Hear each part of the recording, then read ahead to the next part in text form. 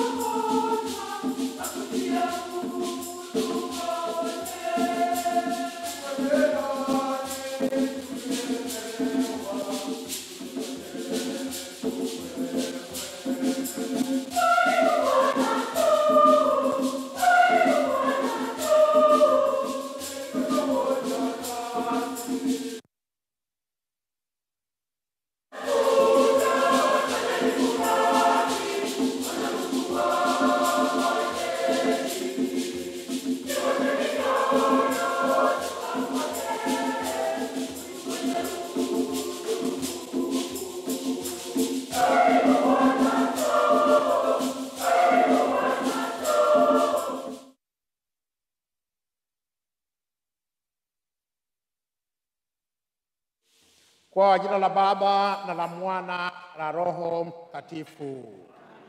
Bwana awe nanyi.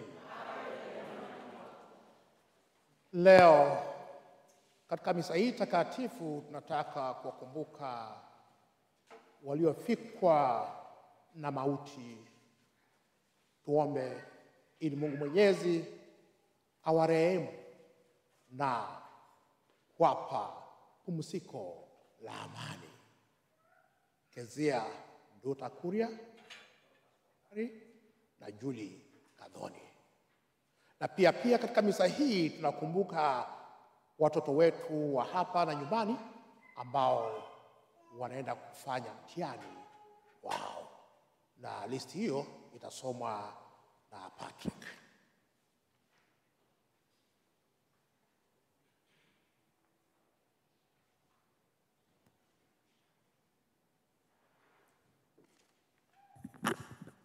Tuwakumbuke pia.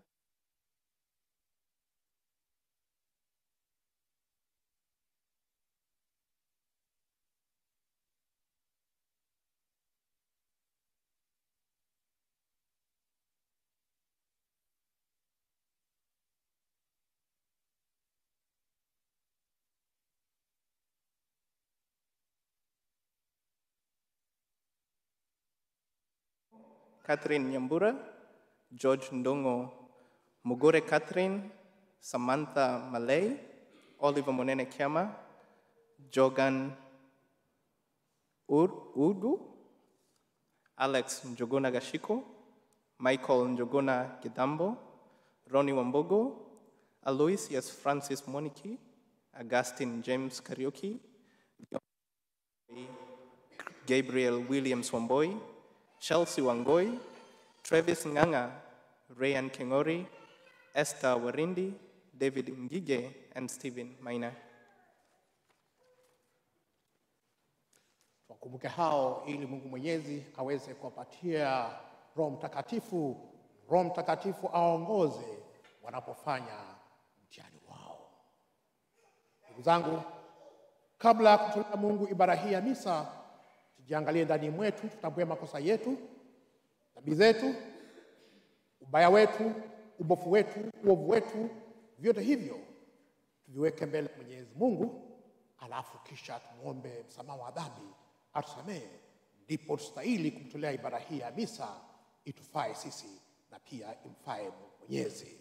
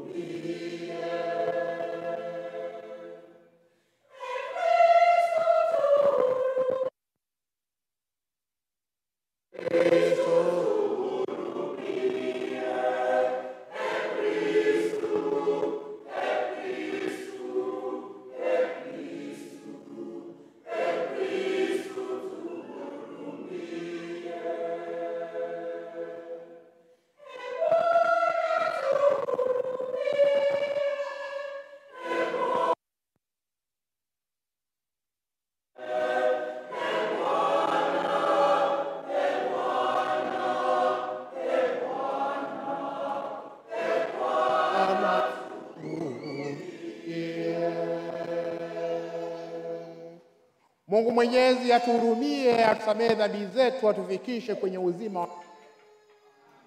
Tuombe.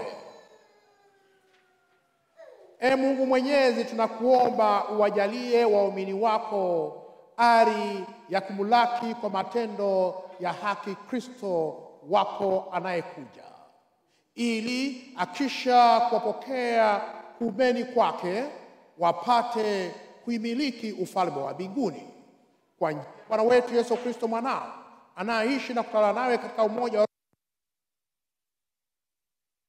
na milele. Amina.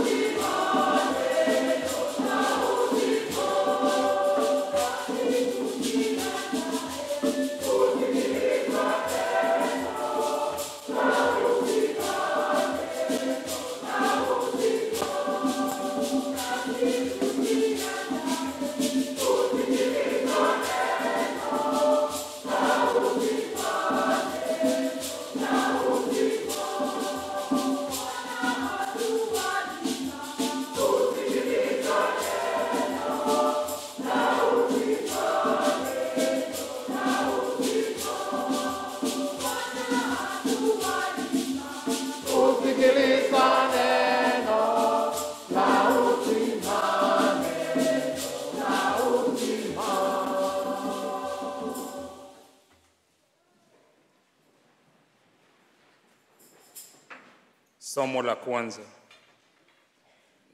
kitabu cha Isaya sura ya pili mstari wa kwanza hadi tano. Bwana atakusanya mataifa yote katika amani ya milele ya ufalme wa Mungu. Somo katika kitabu cha nabii Isaya. Haya ndiyo aliyaona Isaya mwana wa Amosi kuhusu Yuda na Yerusalemu. Itatukia siku za mwisho ya kuwa mlima wa hekalu la Bwana utawekwa imara juu ya mlima na kuinuliwa juu kupita vilima. Mataifa yote watauendea kwa wingi na makabila mengi watafika huko wakisema, haya, tupande mlima wa Bwana, tuende nyumba ya Mungu wa ya, tuende nyumba ya Mungu wa Yakobo, ili atufundishe njia zake, nasi tufuate mapito yake.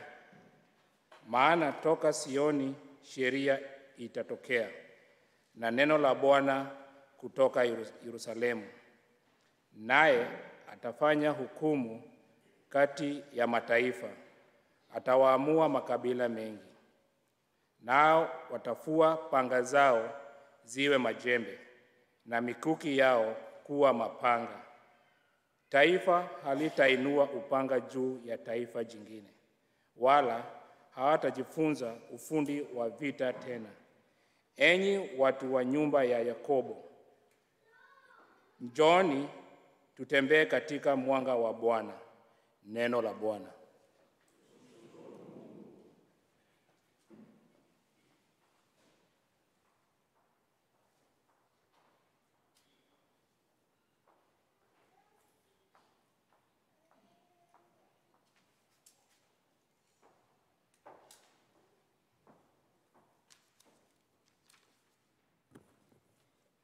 Zaburi ya kuitikizana tutasema, twende nyumbani mwa Bwana tukiimba kwa shangwe.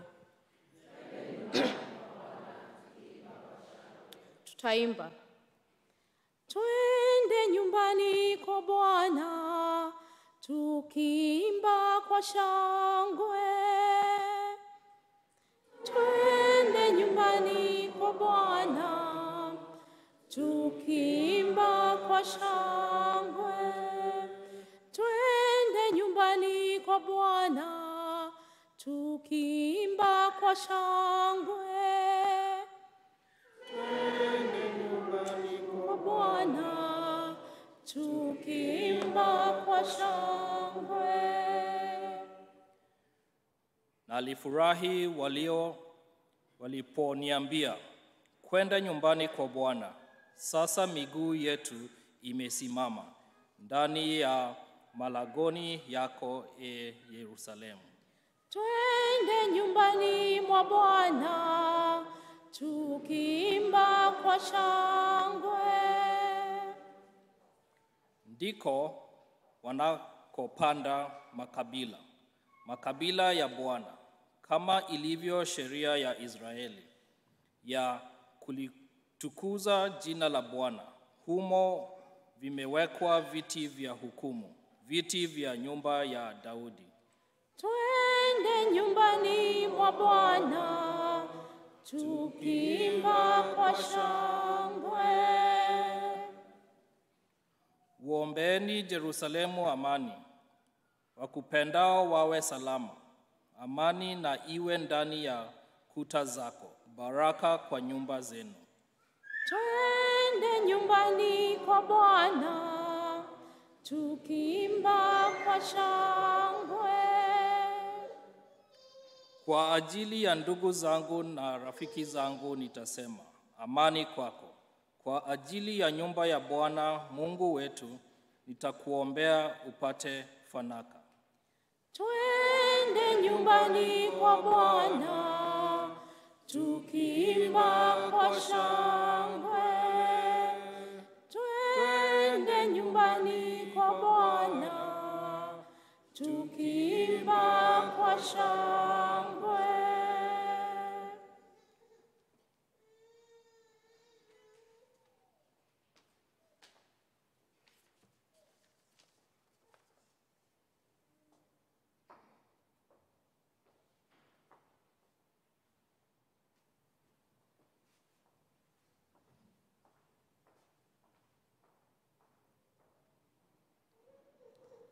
The second reading is coming from the Romans chapter 13, 11 through 14.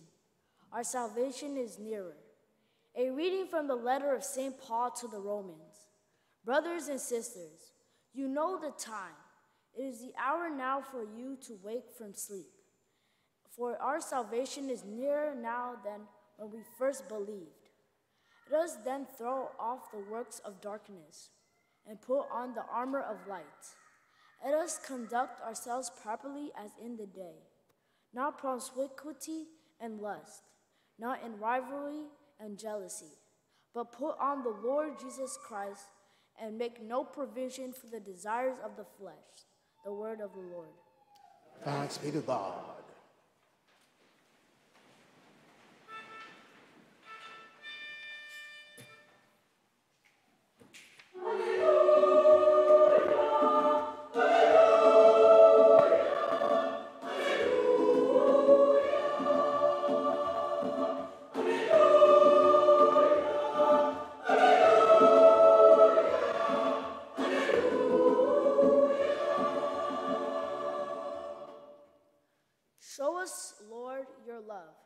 Grant us your salvation.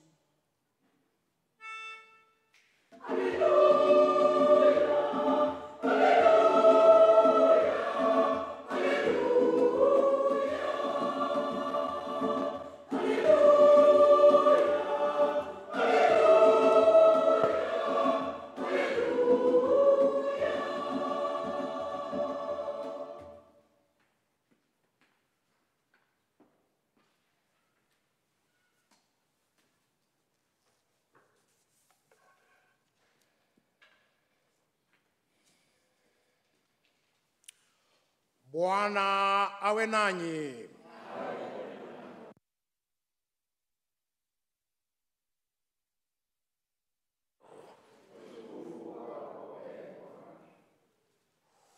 Wakati ule Yesu aliwaambia wafuasi wake, ujio wa mwana wa mtu itakuwa kama ilivyokuwa siku ya Noha, kwa maana siku zile zilizotangulia karika kuu, watu waliendelea kula na kunywa, kuoa na kuolewa, mpaka siku ya Noa alipoingia katika safina, wasituhumu mambo mabaya, hata gharika kuu ikafilisisha na kuwachukua watu wote. Ndivyo itakavyokuwa pia kuja kwake mwana wa mtu. Wakati ule watu wawili watakuweko shambani, mmoja atatwaliwa, mmoja ataachwa. Wanawake wawili watakuwa katika kusaga, mmoja atwaliwa, mmoja ataachwa. Kwa hivyo kesheni, kwa maana hamjui siku atakayokuja Bwana Bwana wenu. Basi fahamu haya, kama mwenye nyumba angelijua saa achapo mwizi, angelikesha asimpe nafasi ya kufunja nyumba. Kwa hiyo nanyi muwe tayari, mwana wa mtu atakuja saa msio idhania. Injili ya Kristo.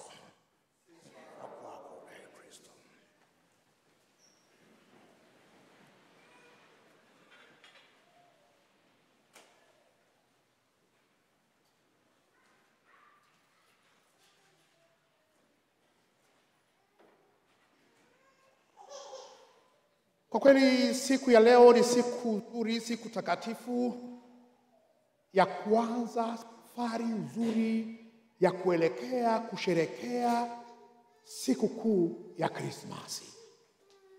Mama Kanisa wakati huu anatupatia wakati wa kirudia ndani mwetu, katika roho zetu, tuangalie makosa zetu, dhambi zetu, vyote hivyo tuungane. Wakati tunafikia kwamba tunajua tumetenda dhambi ama hatujikaribisha vizu- tayarisha vizuri kwa ajili ya ujio wa Bwana wetu Yesu Kristo, ni wakati wa wetu anajirudia mwenyewe yeye binafsi na Mwenyezi Mungu na familia binafsi na sisi kama jumuiya ya Waswahili hapa pia tunakuja pamoja safi tunaomba ili tuweze kuwa tayari atakapokuja Bwana wetu atakayesaliwa na Bikira Maria, wanatuambia. So wakati huu ni wakati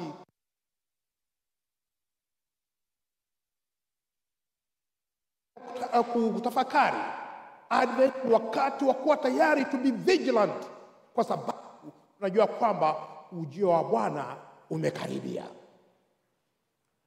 Katika, katika dunia hii kuna mambo ambayo tunahofia sana katika maisha yetu. Kuna wakati ambapo tunahofia mambo mengi sana katika maisha yetu, ndugu zangu. Hata mimi juzijuzi juzi nimekuwa na hofu kubwa sana. Nilikuwa nakaa nafikiria, wakati ambapo naamuka, wakati siko kazini, na switch on television yangu, naangalia naangalia World Cup, na kila ni World Cup nikiuliza hapa na pale, hata timu ya Afrika imechapwa, sijui Ghana imechapwa, sijui Kamerun imechapwa, sijui gani imechapwa. Nikaanza kuwa na hofu sana, nikasema kweli nina hofu sana, inaonekana kwamba timu zote za Afrika zitachapwa katika msururu wa kwanza tu. Lakini leo nilipoamka asubuhi, mtu akanambia, rafiki yangu akanambia, ah, by the way, Morocco imechapa Belgium, Bel Belgium mawili kwa sifuri. Nikasema basi, hapo nilisikia hivyo, matumaini yakaanza kurudi kidogo. Wakati ambapo unaanza kupoteza matumaini, wakati ambapo unaanza kuona kama you are done, you are done now, ni wakati ambapo ukionekana you want to hear good news, unataka kusikia mtu akiupatia ujumbe, ujumbe wa matumaini kwa yale ambayo unatarajia kufanya. Mara nyingi juzi juzi tu, miaka miwili tumekuwa na hofu e, wakati tulikuwa na COVID-19 ujumbe ukatufikia kwamba kuna dawa zimebuniwa, sasa watu wataanza kupata chanjo na itakuwa vizuri. Wakati mwingine tunahofia watoto wetu nyumbani, pengine hawana e, chakula cha kutosha, hawana makao mazuri. Wakati mwingine pia tunafikiria juu ya nchi yetu, msukosuko ya mambo, watu wa siasa wanachapana kwa maneno hapa na pale. Tunahofia mambo mengi sana katika dunia, tunahofia tukiangalia, tukiangalia kule Ukraine, Russia, tunaona kwamba kuna hofu kubwa sana e, wanaendelea na vita. So katika dunia hii hata hapa tuliko tunahofia mambo ya siasa, mambo ya kubakuana, mambo ya namna hiyo. Tunakuja tunahofia na tunaomba Mungu, tunasema kwamba Mungu mwenyewe tu atuwezee. Sasa somo la kwanza la leo ambalo tumesikia, wana wa Israeli walikuwa wana hofu kubwa sana, kwa maana taifa la Juda lilikuwa linachita kuandaa kuwapiga kuwapiga kwenda kuwapiga kabisa, kwenda kuwatoa katika nchi yao na kuwaweka katika utumwa, kwenda kuwatoa na kuharibu hekalu ya Yerusalemu, kwenda kuwapiga na kuharibu mji wa Yerusalemu. Kwa hivyo wakawa na ufukali sana, wakawa na kuokopa. They were fearing because another nation was coming to destroy them. Lakini wakati huo ambapo walikuwa wameokopa kabisa, nabii kijana kijana shupafu kabisa kwa jina la Isaia akajitokeza, akajitokeza akawapa matumaini makubwa sana, akasema, nitawalikeni, mtaenda kwenye nyumba, kwenye mlima wa Bwana. I invite you all to come to the holy mountain. Na wakati mtaenda kwenye mlima wa Bwana, kama watu walikuwa na visu vya kuuana, kama watu walikuwa na mikuki ya kuuana, kama watu walikuwa na mishale ya kuuana, kama watu walikuwa na chochote ambacho ni kibaya, kila kitu kitakuwa transformed na kutakuwa na amani, na kutakuwa na amani kote, na utakuwa na vita. Sasa yeye nabii akawapatia matumaini hayo, akawaambia kwamba msiokope hata kidogo, msikuwe na hofu hata kidogo yule ambaye ule mji ambaye mnafikiri kwamba hawa taifa la Juda litakuja kuwapiga na kuharibu, itakuwa mji mkubwa ambao utaattract kila mtu na kila mtu atatamani kuja katika mji huo, mji wa Yerusalemu. Na katika mji huo Yerusalemu utakuwa juu, utawekwa juu, na kila mtu atakuwa at kuangalia ule mji wa Yerusalemu. And that's why katika Injili ambayo tulisoma Jumapili iliyopita tuliambiwa kwamba wakati ambapo Yesu alitundikwa msalabani akaweka juu, akaweka juu kabisa, ili aweze kuangazia kila mmoja, ili aweze kuwaita sisi na mama, anasema njoo kwangu, Vito, watoto anasema njoo kwangu, vijana anasema njoo kwangu, wazee anasema njoo kwangu, maskini anasema njoo kwangu, wasio na chochote anasema njoo kwangu, walio na mengi anasema njoo kwangu, njoni kwangu nyinyi nyote naolemewa na msigo, nami nitawapumzisha.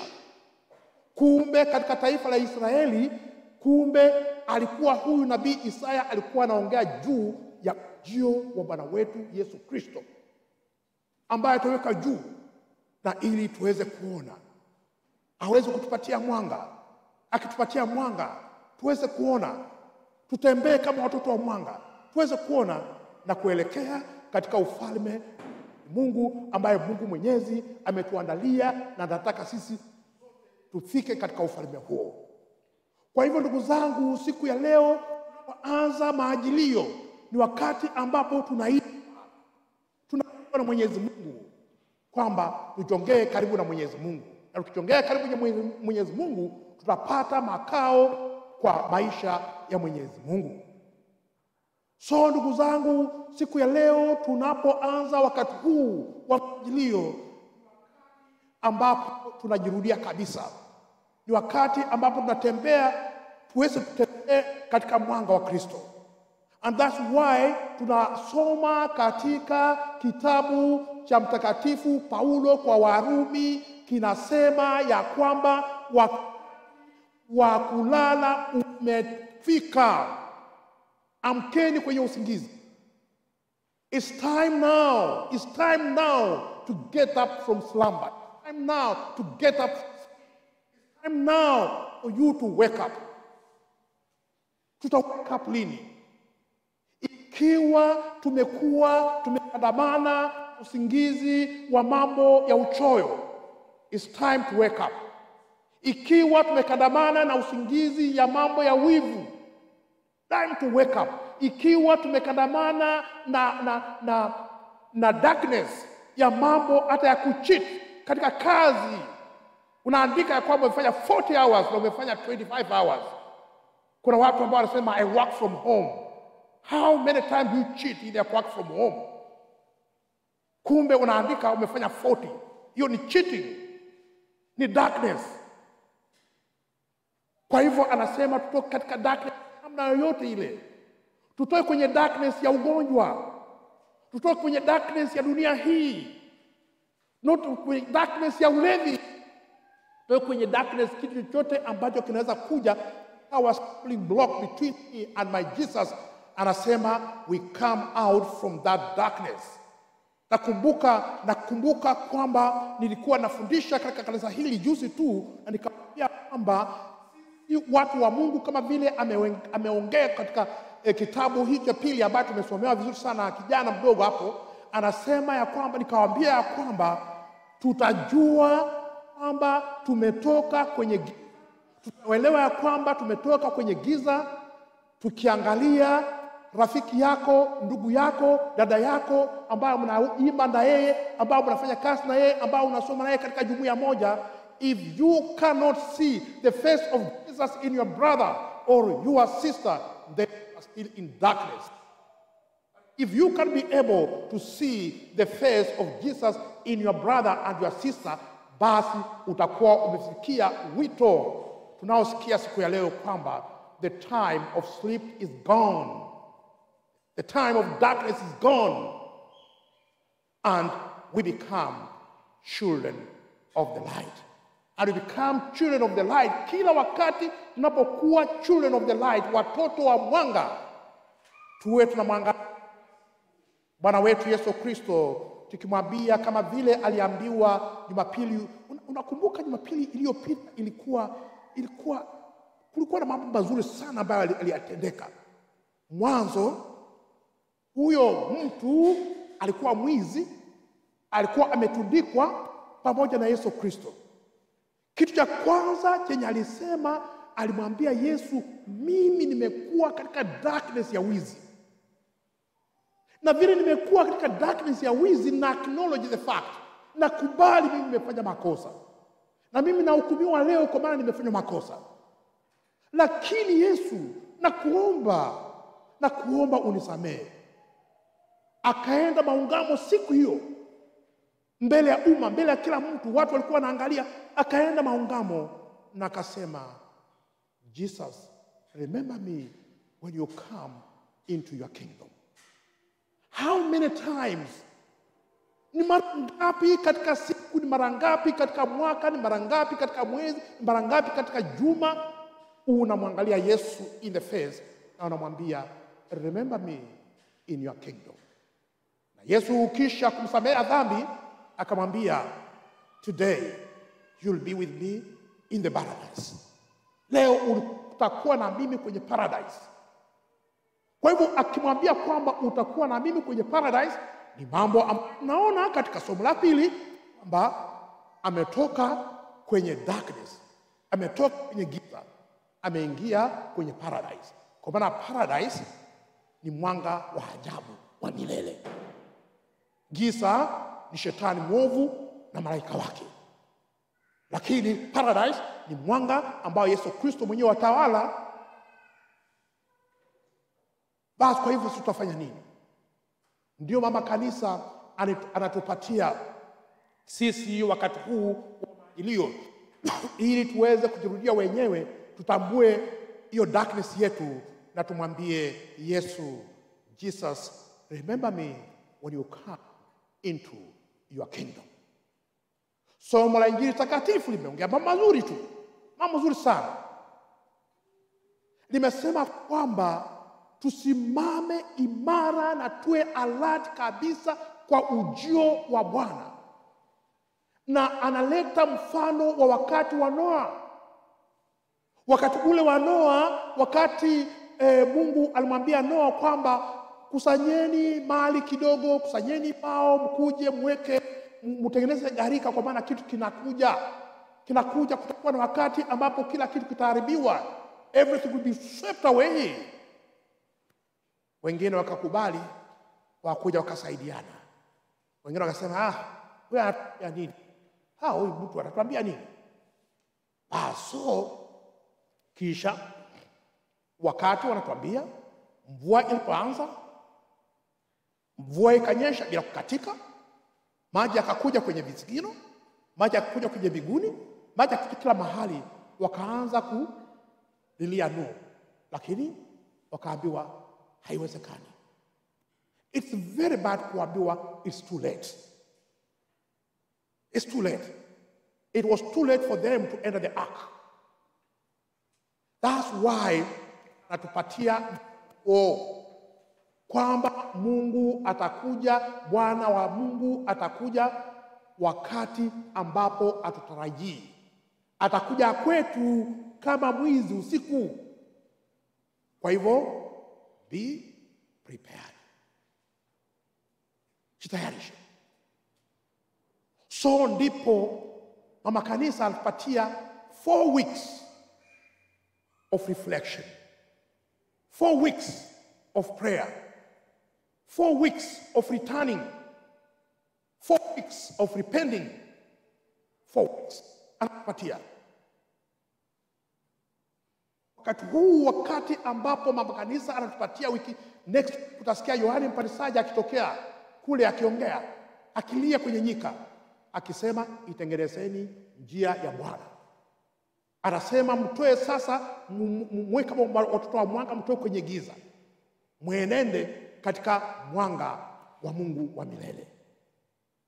So leo ndipo Injili takatifu tuelezea itakavyokuwa siku ya mwisho, kwamba wale ambao walikuwa tayari, kutakuwa na akina dada wawili wanafanya kazi kwenye shamba, wawili wawili, wewe na dada yako, mmoja atachukuliwa, mwingine ataachwa.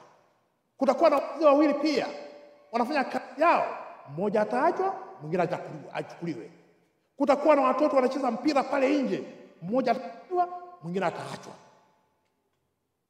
Mwenye tayari ndio atachukuliwa, mwenye hayuko tayari basi ataachwa.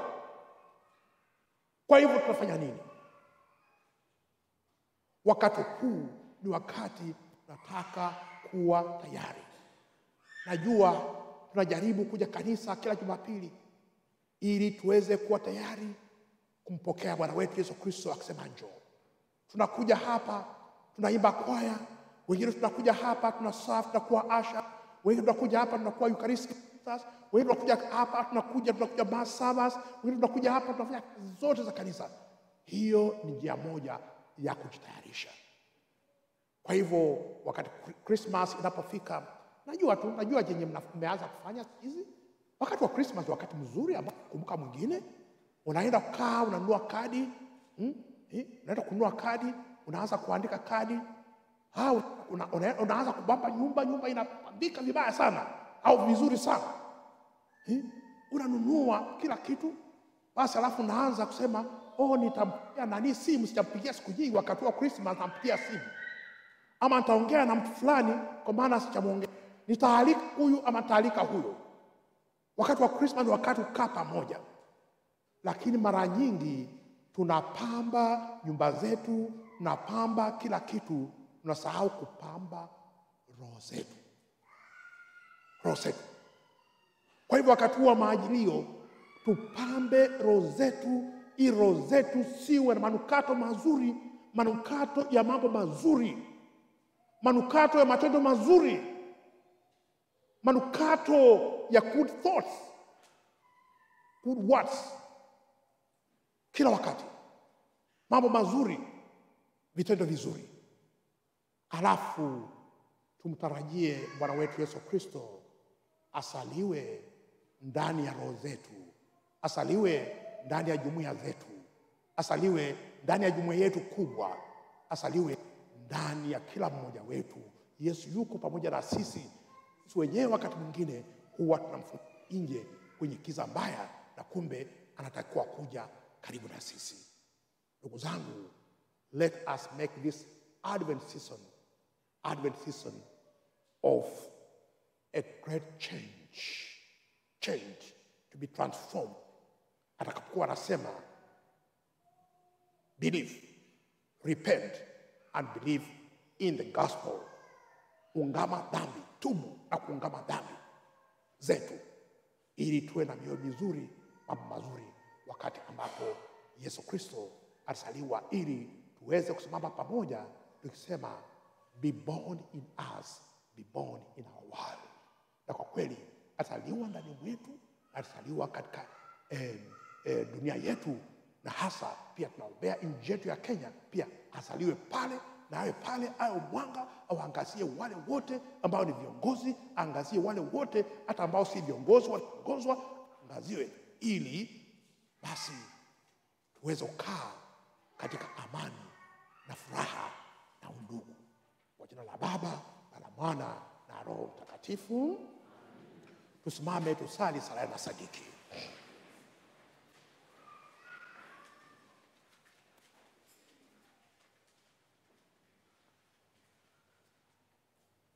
Na sadiki kwa Mungu Baba Mwenyezi,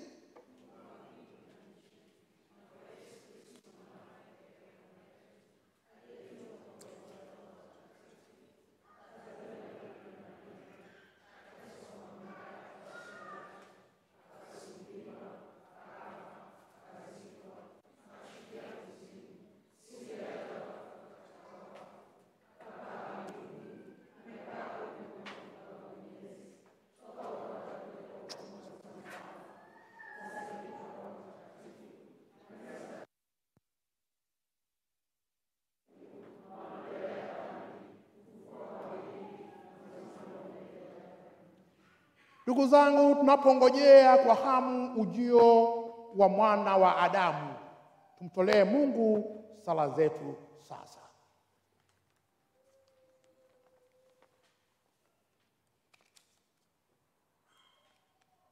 Tuombe kwa ajili ya kanisa kwamba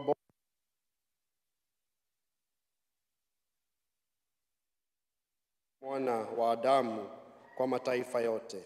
E kwa kuomba usikie. kwa ajili ya kuongezeka kwa miito, ili vijana katika parokia yetu watafakari kulitumikia kanisa kama mapadri, makuhani au watawa. E Bwana, twakuomba. E Bwana, twakuomba. Tuombee amani ulimwenguni na hasa kati ya nchi zinazozozana, ili viongozi wa serikali wadumishe amani, upendo na umoja katika uongozi wao. E Bwana, twakuomba. Bwana, twakuomba usikie. Tuwaombee watoto waliobatizwa katika parokia yetu hivi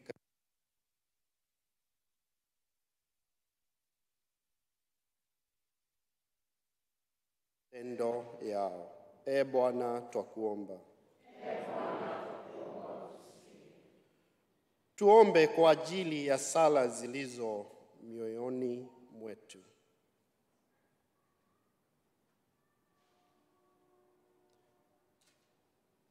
E Bwana, twakuomba. Tuwaombee wapendwa wetu marehemu kama vile Kezia Nduta, Dorcas Wangari, Julia Gathoni. Raha ya milele uwapee e Bwana, na mwanga wa milele uangazie. Kwa rehema za Mwenyezi Mungu wapumzike kwa amani. E Bwana, twakuomba. E Bwana, twakuomba. Naomba haya yote kwa njia ya Kristo Bwana wetu. Amina.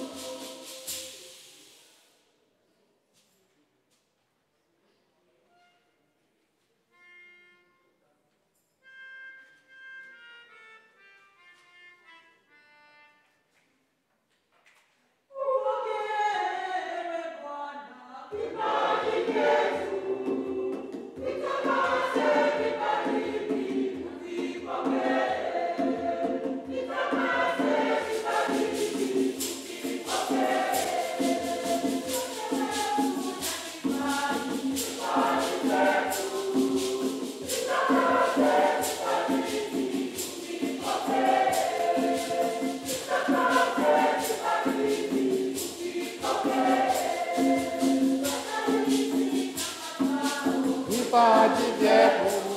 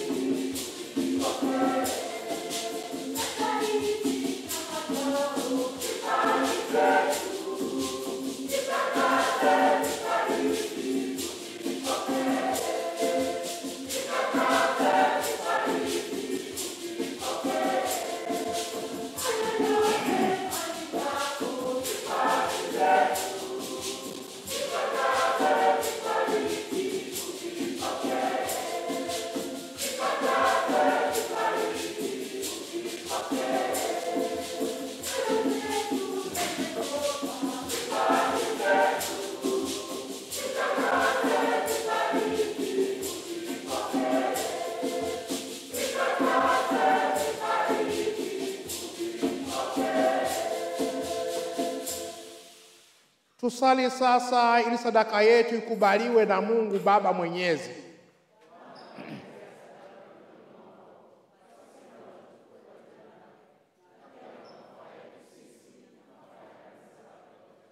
E Bwana, tunakuomba uvipokee vipaji tunavyokutolea ambavyo tumevipokea kutoka kwa neema yako na yule na yale unayotujalia kuyatenda kwa ibada kasi hii wakati huu yawe kwetu tuzo la ukombozi wako wa milele. Naomba hayo kwa njia ya Kristo Bwana wetu. Bwana awe nanyi. Inueni mioyo. mshukuru Bwana Mungu wetu.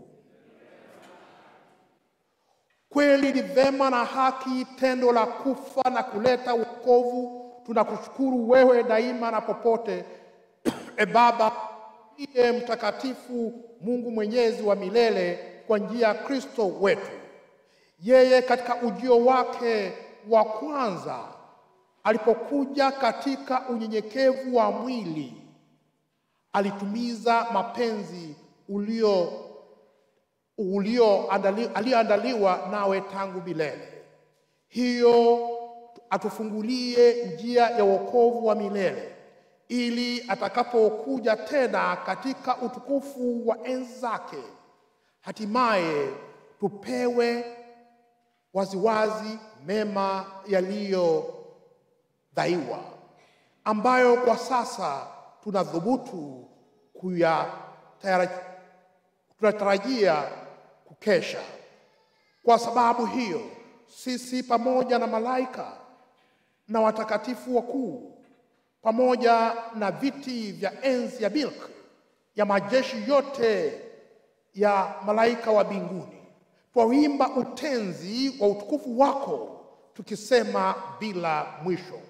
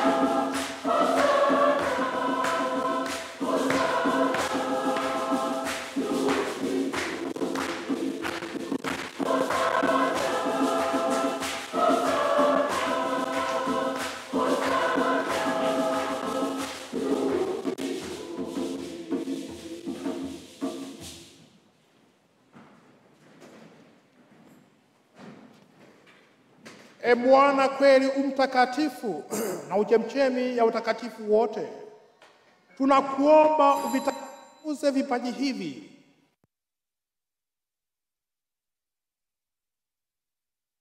Ili na damu ya Bwana wetu Yesu Kristo.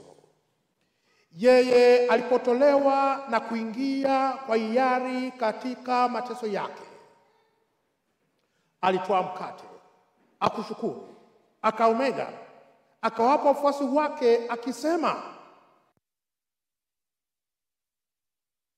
huu ndio mwili wangu utakaotolewa kwa ajili yenu.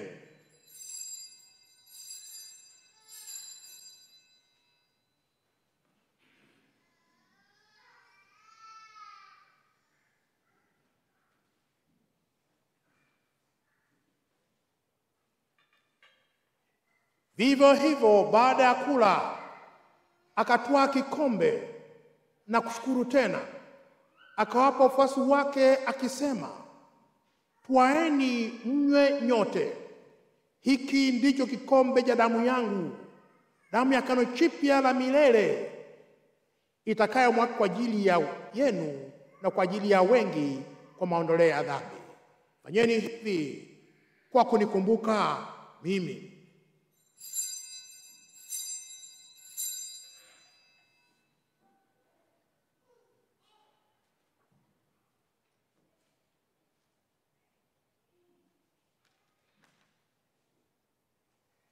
Fumbo la imani. Kwa hiyo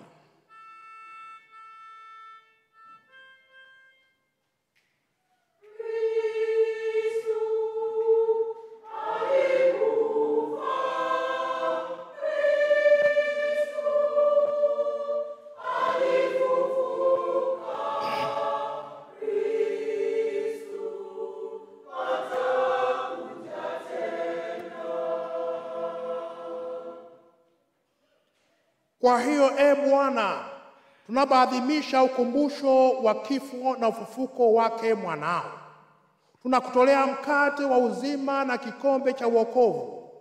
Tunakushukuru kwa kuwa umetusailisha kusimama mbele yako na kutumikia. Pia tunakusii kwa unyenyekevu kabisa, ili kwa kushiriki mwili na damu ya Kristo tukusanywe na Roho Roho moja Mtakatifu tupate kuwa jamaa moja. E Bwana, ulikumbuke kanisa lako linaloenea potepote duniani, ulikamilishe katika mapendo, pamoja na Baba Mtakatifu wetu Francesco, askofu wetu Paulo na wakeru wake wote. Uwakumbuke pia ndugu zetu waliofariki dunia wakiwa na tumaini la ufufuko, na marehemu wote waliofariki katika huruma yako wapokee kwenye nuru ya uso wako.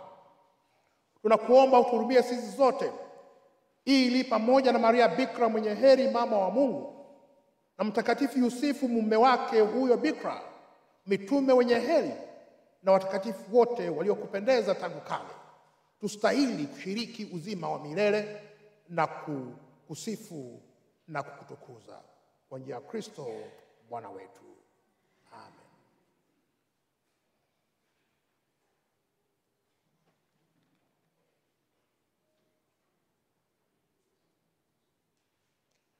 Kwa njia yake pamoja na ndani ya Mwenyezi.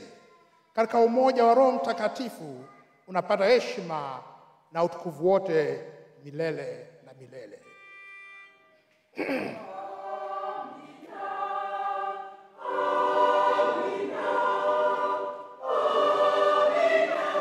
Amina,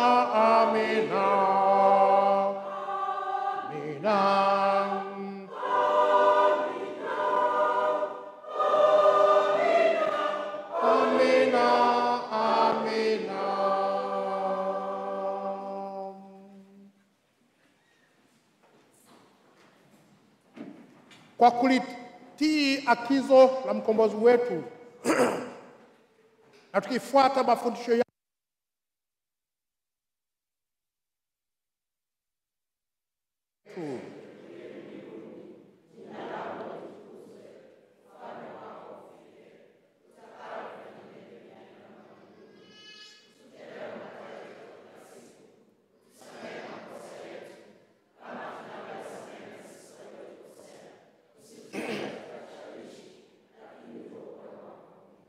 E Bwana, tunakuomba upoe katika maovu yote, kwa amani maishani mwetu, kusudi kwa msaada wa huruma yako tuopolewe daima na dhambi, wala tusifadhaishwe na jambo lolote, napotasamia tumaini lenye heri na ujio wa mwokozi wetu Yesu Kristo.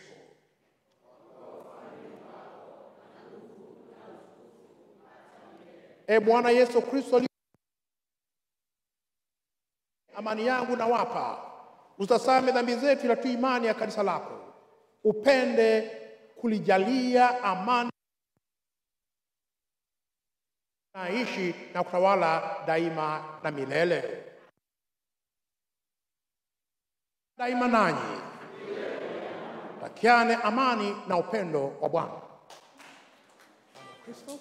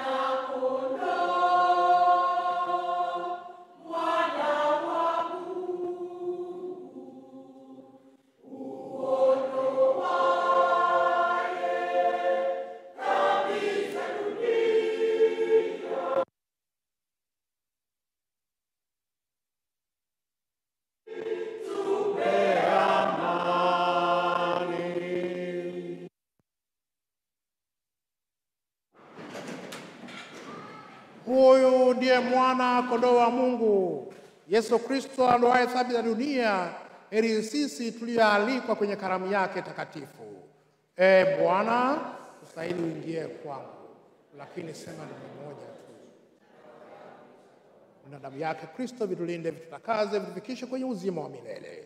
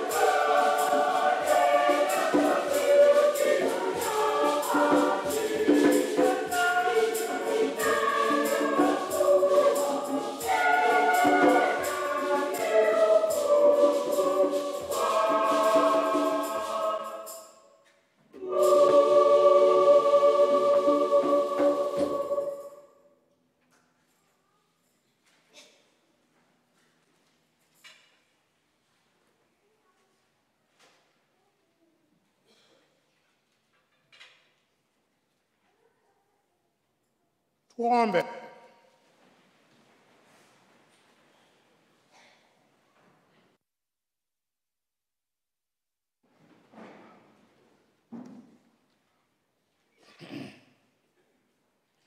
E Bwana, tunakuomba yatufae sisi mafumbo tuliyoadhimisha, ambayo tangu sasa wakati tunaponenda kati ya mambo yapitayo, tuandaliwe kwao kuyapenda mambo ya mbinguni na kuambatana na yale ya dumuyo.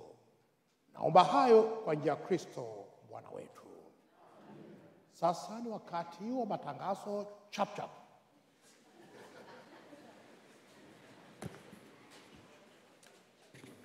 Tumsifu Yesu Kristo. Tumsifu Yesu Kristu tena.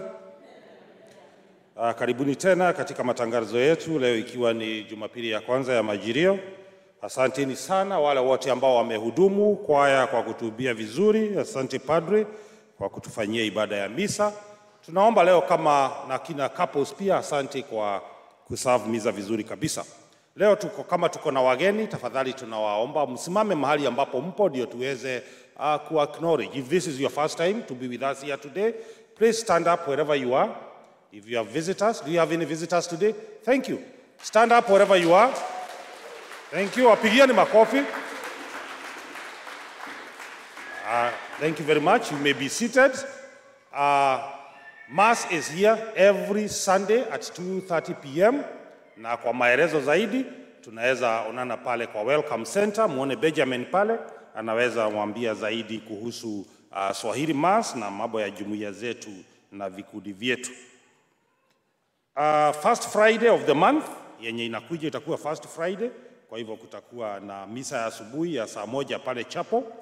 Immaculate Conception um, Blessed Virgin Mary Alhamisi Disemba 8. Vile vile tunakumbushwa kwamba bado kuna children's choir yenye itaiba wakati wa Krismasi, na kama uko interested tuendelee kusoma masomo katika gwaride. awa gwaride yetu iko pale, na tunaombwa tafadhali tusome ndio tuweze kujua padre ako na mambo gani ya kutuambia. Vile vile kuna kalenda ya Father, Father Carlos ame jua na ku, uh, we, we are able to plan ourselves kulingana na kalenda ya Father. Jumapili ijayo ambayo itakuwa Disemba tarehe nne kutakuweko na mkutano wa kina mama wote all ladies. Kwa hivyo mnaombwa mkutane baada ya misa, na naona baada ya misa hii wa kina mama wote wabaki baada ya misa. Um, jumuiya wiki hii St. Joseph Takoma watakutana kwa Gashukias family uh, saa kumi na moja jioni.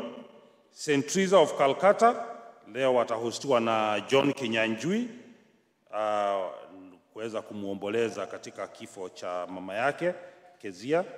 Uh, St. Monica Puyalap hawakutani wiki hii. St. Jude Fedroe hawatu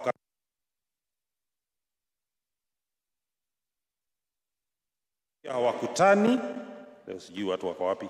St. Urban, uh, Augustine Urban watakutana kwa Rose Mwangi baada ya misa, na St. Maria Goretti Siaro wanakutana kwa St. John the Evangelist kila Jumapili baada ya misa. Um, Jumapili ijayo tutahudumiwa misa na watoto wetu wa Sunday School. Kwa hivyo watoto wa Sunday School ndio watahudumu misa baada mean, um, Jumapili ijayo. Tumsifu Yesu Kristu. Tunawatakia Jumapili njema. Tutaongeleshwa kidogo na Simon.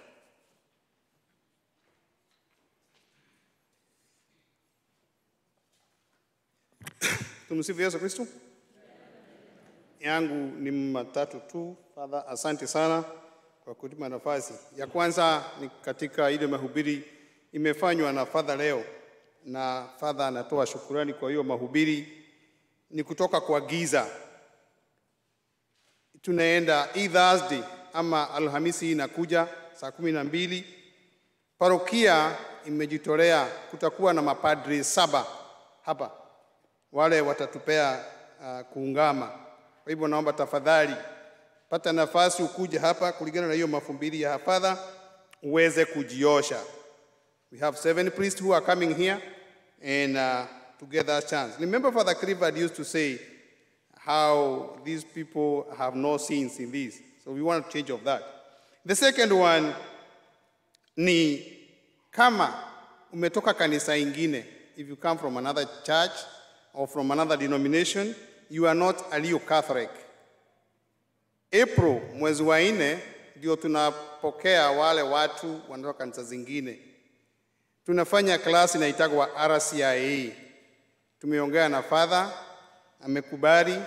Kwa hivyo kama wewe uko hapa na unakujaga misa na wewe unajua kweli wewe si Mkatoliki, kuja unione, sababu mafundisho yangu inakuaga saa sita pale kwa darasa namba mbili.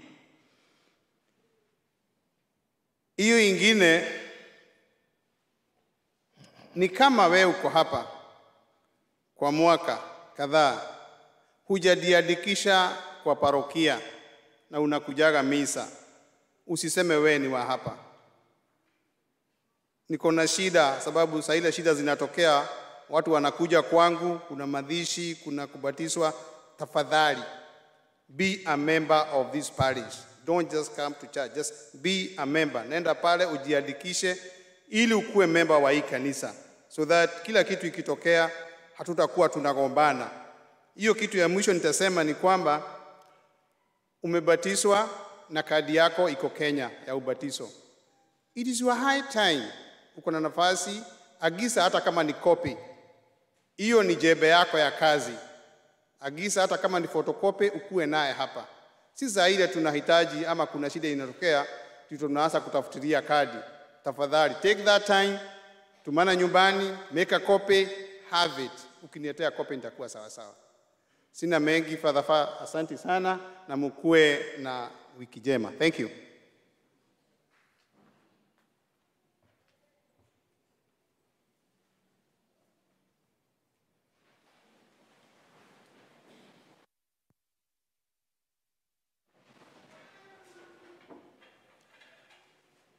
Bwana awe nanyi na Mungu Mwenyezi apende kuwabariki Baba, Mwana na Roho Mtakatifu. Endeni na amani kumpenda na kumtumikia Mwenyezi Mungu. Ibara hii imekamilika. Mshukuru Mungu.